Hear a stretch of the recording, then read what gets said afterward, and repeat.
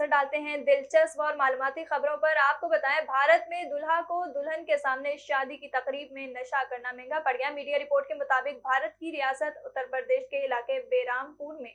दूल्हे ने शादी की तकरीब में शराब और चर्च पी तो दुल्हन को ये पसंद ना आया, जिस पर उसने भरी महफिल में शादी से इनकार कर दिया।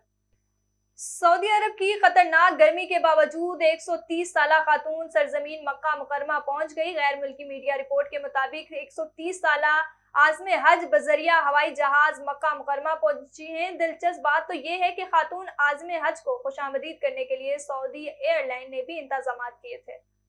इक्यासी साल अमरीकी खातून को दुनिया की सबसे मोहम्मद ट्रेन ड्राइवर करार दे दिया गया। इस हवाले से बताया जाता है कि अमरीकी रियासत मीसाचुसेट्स के शहर बोस्टन की इक्यासी साल हिलन एंटोनोसी मीसाचुसेट्स बेटर ट्रांसपोर्टेशन अथॉरिटी की ट्रेन ड्राइवर हैं।